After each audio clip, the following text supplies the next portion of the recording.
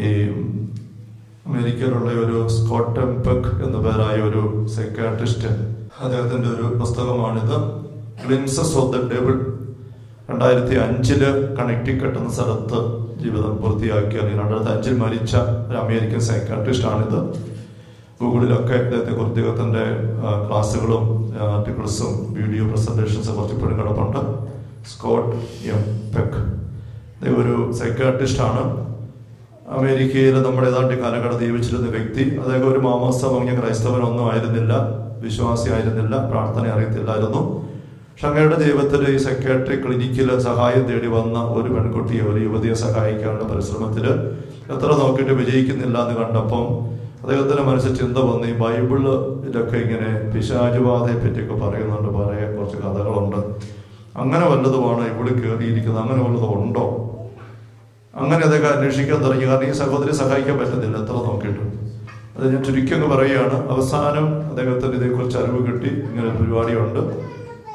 രൂപതാ കേന്ദ്രത്തെ സമീപിച്ചാൽ അവർ സഹായിക്കും. എക്സോസിസ്റ്റുകൾ ശുശ്രൂഷ ചെയ്യുന്ന ആൾക്കാർ അച്ഛന്മാർ അവിടെയുണ്ട്.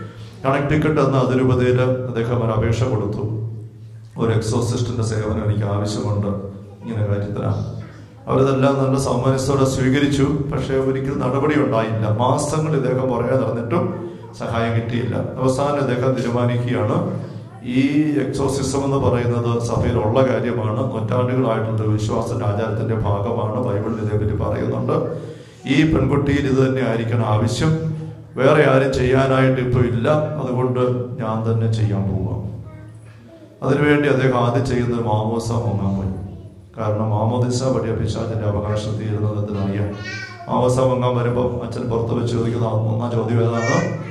പിശാചിന്റെ അടിമത്തത്തിൽ നിന്നും മോചിതമാകാൻ മോചിതനാകാൻ നീ ആഗ്രഹിക്കുന്നു. അത് മനസ്സിലാക്കിയപ്പോൾ അദ്ദേഹം തന്നെ ഒരു മാമോസ സ്വീകരിക്കാനായിട്ട് ഒരുങ്ങി. ഒരു സഭയിൽ തോരിക്ക സഭയിലല്ല അദ്ദേഹം പോയത്. ഒരു പക്ഷേ ഈ കണക്റ്റിക്കട്ടിലോ അതിൽ വെച്ചൊന്ന് ചോദിച്ചപ്പോൾ കിട്ടാത്തതുകൊണ്ടായിരിക്കാം. അദ്ദേഹം ഒരു മറ്റൊരു അകത്തോരിക്ക സഭയിൽ ചെന്ന് മാമോസ ചോദിച്ച് മാമോസ മുങ്ങി. എന്നിട്ട് സഹായിക്കാൻ പറ്റുമോ എന്നിട്ട് പേരെ കൂടെ കൂട്ടിക്കൊണ്ട് അദ്ദേഹം ഈ ഈ വിശ്വാസ പ്രാർത്ഥന നടത്തുകയാണ്. ആ നടത്തി അത് വളരെ ചുരുക്കി പറയുകയാണ് അത് വിജയമാണെന്ന് അദ്ദേഹം മനസ്സിലാക്കി വന്നതിനെ കണ്ടു. അതുവരെയും ഈ കൗൺസിലിങ്ങും സെക്രട്ടറി മരുന്ന് ഒന്നും ഭരിക്കാതിരുന്ന ആ പെൺകുട്ടിയിൽ ഒന്നാമത്തെ സെഷൻ എക്സസ പ്രാർത്ഥന കഴിഞ്ഞപ്പോൾ തന്നെ വ്യത്യാസം അദ്ദേഹം കണ്ടു. അങ്ങനെ അദ്ദേഹം വീണ്ടും ഏതാനും പ്രാവശ്യങ്ങളുടെ പ്രാർത്ഥന നടത്തിയ പെൺകുട്ടി സഭയ്ക്ക് വന്നു. പിന്നെ മറ്റൊരു വ്യക്തിയിലും അദ്ദേഹം ഇതുപോലെ തന്നെ ഈ ശുശ്രൂഷ നടത്തി. അത് വിജയിച്ച് വിജയിച്ചു വന്നുവെങ്കിലും ആ വ്യക്തി വേണ്ടതുപോലെ ഉള്ളു തുറന്ന് സഹകരിക്കാൻ തയ്യാറായില്ല. അതുകൊണ്ട് അദ്ദേഹത്തിന്റെ കൈപ്പിടിയിൽ നിന്നും ദയനീയമായിട്ട് ആ വ്യക്തി ഊർന്നുപോയി പോയി ഊർന്നുപോയി ഊർന്നു പോയി അവസാനം ദയനീയമായിട്ട് കലാശിച്ചു. ഈ രണ്ട് സംഭവങ്ങൾ അദ്ദേഹം താൻ എഴുതിയ പീപ്പിൾ ഓഫ് ദ ലൈ എന്നൊരു പുസ്തകം. അതിനു മുമ്പ് അദ്ദേഹം എഴുതിയ പുസ്തകമാണ് the road less travelled best seller ബുക്കാണ് ഇത് രണ്ടും. The road less travelled people of the line ഇത് രണ്ട് ബിബിഡിക്കൽ ഇതുള്ളതാണ് ദ റോഡ് ലെസ് ട്രാവൽഡ് അധികം പേര് നടക്കുന്നില്ലാത്ത വഴി അത് ഈ കർത്താവിന്റെ വഴിയാണ്. ഈശോയാക്കുന്ന വഴിയാണ്. ആ വഴി അധികം പേര് നടക്കുന്നില്ല. നടക്കുന്നു വിചാരിക്കുന്നവരും അവകാശപ്പെടുന്നവരും പോലും ആ വഴിയാണ് നടക്കുന്നത്. മറ്റൊന്ന് പീപ്പിൾ ഓഫ് ദ ലൈൻ നുണയുടെ ആൾക്കാർ നുണ എന്ന് അദ്ദേഹം പറയുന്നത് യോഹന്നാൻ എട്ട് നാൽപ്പത്തിനാല്. അവർ നുണയനും നുണയുടെ പിതാവുമാണ്. നുണ പറയുന്നവരുടെ. നുണ പറയുന്ന ആൾക്കാർ. അങ്ങനെ പുസ്തകം. ആ പുസ്തകത്തിനകത്ത് അദ്ദേഹം ഈ രണ്ട് എക്സസൈസ് സംഭവത്തെ പറ്റി ചെറിയ പരാമർശം നടത്തി. അത് വായിച്ച ആൾക്കാർ ഒത്തിരി വെള്ളമുണ്ടാക്കി ഇങ്ങനെ ഒരു സൈക്കാട്രിസ്റ്റ് ആണ് അമേരിക്കക്കാരൻ ഈ നൂറ്റാണ്ട് ജീവിക്കുന്നയാൾ. എന്നിട്ട് ഈ പണ്ടത്തെ പിശാചും ഭൂതോച്ചാരണമായിട്ട് നടക്കുകയാണോ? നിങ്ങൾക്ക് ബോധ്യമുണ്ട്? വ്യക്തമായിട്ട് എഴുതാൻ പറഞ്ഞുകൊണ്ട്. അങ്ങനെ വന്ന ആ ഡിമാൻഡ് ഉത്തരമായിട്ട് എഴുതിയ പുസ്തകമാണിത്. ഇതിനകത്ത് അദ്ദേഹം ഈ രണ്ട് സംഭവങ്ങളെ കുറിച്ച് വിശദമായിട്ട് പ്രതിപാദിച്ചിരിക്കുകയാണ്. ഇതാണ് അദ്ദേഹത്തിന്റെ ചിത്രം. നിങ്ങൾക്ക് കൂടെ അറിയണം ആഗ്രഹമുള്ളവർക്ക് യൂട്യൂബിലും ഗൂഗിളിലും കയറിയ സ്കോട്ട് ഒക്കെ അടിച്ചു കൊടുത്താൽ അദ്ദേഹത്തെ പറ്റി അറിയാം. അദ്ദേഹത്തിന്റെ ഡോക്കുകളൊക്കെ അവിടെയുണ്ട്. പുസ്തകങ്ങളുടെ ഓഡിയോ വേർഷൻ പോലും കിടപ്പുണ്ട്.